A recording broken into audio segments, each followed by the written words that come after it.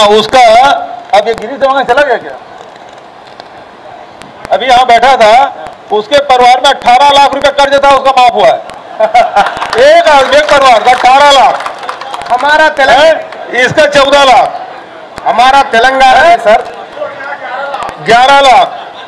मतलब चाहे वो दस हज़ार हो चाहे एक किसान है जिसका अट्ठाईस लाख रुपए माफ़ हुआ है।